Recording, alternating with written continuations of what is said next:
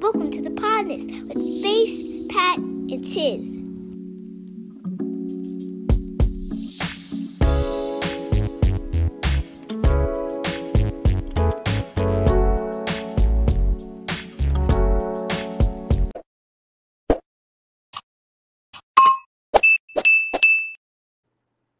now I'm gonna get into my real issue with the interview.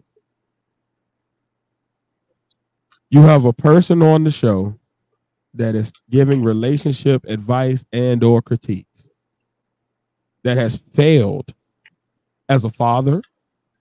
He has children that are that have claimed that they are not being supported by this person and have not seen them. That has an ex or baby's mother, whatever you want to call the person, the woman, that is claimed that he is not taking an active role in the kid's life and has not been around and was not necessarily a great person to her while he was with her. I ain't gonna never roll with nobody on relationship advice if you ain't been successful in a relationship. If your relationship history reads as stripper, baby mama, baby mama, you're not with none of the baby mamas, and you don't have a relationship with the baby mama or the kids. Something wrong with you as a man. I'd be damned if you about to sit there and lecture anybody that may be successful in that realm on that. That's my first just getting that off. And I know mm-hmm. from what I know of the public persona of Joe Budden, he is a person that may not be the best with the baby mama, but he does seem to have a relationship with his children. That's important for a black man. If we want to talk about the upliftment and and and bringing our people to a better place, we got to talk about the importance of black fathers being in their children's lives on a day-to-day basis and making that a, a, a purpose for them. Like you have to have a purpose of being in your child's life. That's just bare minimum regardless of how you feel about the baby mama, regardless of whatever scandal went, like that's what any black parent that I know, that's the base that they stand on. Everything else is kind of subsidiary, but that that's their foundation of like, I'm gonna be there for my baby. So when I got a black man that is not there for his black babies, and he's giving relationship and parenting advice and all of this about how to navigate that world, I have to call you to task and question that. And nobody questioned him on that. My second issue, and y'all know where I'm going with this one. we have a man that has collected money since 2014 at the earliest documented. We don't know what happened in meetings that were, you know, held that weren't recorded. But the earliest recording that I know of that was recorded was in 2014 for St. Paul's College, saying that this man was going to open a school next year. Every single year we have been through since that year, this man has said the school is opening next year. Last year, when he held his block party, where he mock married two black women. I ain't gonna I ain't gonna even go there on that. Mm-hmm. He said the school was opening this year in 2023, last year in 2023. Let me, Nothing happened. Let me interrupt you real quick. Mock marriage. Wow. Mock marriage. Because he wasn't really getting married. It was a uh, it was a ceremony without any substantiation, without any religious backing, without any government backing. It was just I'm walking down the aisle with these two people and I'm acting like I'm with them. So what that says to me is that you really just out here philandering and trying to get with women off of the clout of whatever platform you have. That's what that says to me. I can be wrong. I'm not saying I'm hundred percent correct on that, but it doesn't look like you're really serious about marrying anybody because you're still talking about when I marry, if I marry. So that tells me that that was a mock marriage. But that's neither here nor there. My point is, you told us then the school was opening in 2024. That has now been pushed back to 2025. This is now the 10th year that the year of your school opening has been pushed back again. But you're still collecting funds, money, and resources for said school. But all we see you doing is doing interview tours, and going around doing speaking engagements and putting out a book that if you want to be honest, I've seen the book now.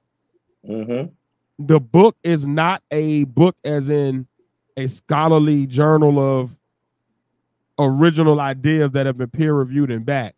It is a book that has not been peer reviewed and back, and it is a book that is basically made up. It's basically the same shit that um, what's the dude Dr. Malachi Z. York used to do. He used to put out a bunch of other people's kind of information, compile it into a book, and, and put it off as his own. Oh, so he um Berry Gordy the shit. Indeed. And the mm. problem with it is half of the shit that's actually factual in your book, you go against in your live. See, I've been one of them people that's been following the live streams. I watch him on Instagram when he go live. I watch him on on on TikTok and Facebook when he drops his little clips. I watch him on YouTube when he drop his his videos. Like I see what's you're not standing on that. You're saying weird shit like mental health can come from a tree.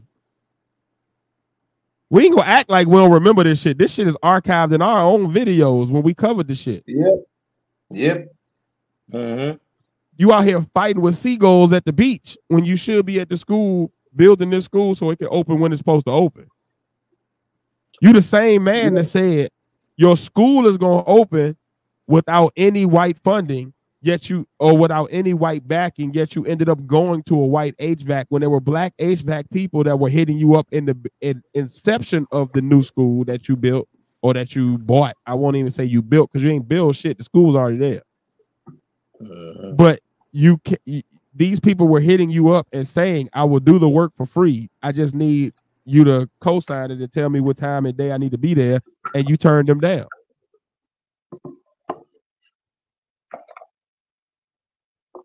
I can't keep running with somebody that like what I'm not gonna do is keep allowing somebody. I, I, I gave it a year, y'all. I gave him a year off. I did. I won't even go talk about it on this podcast.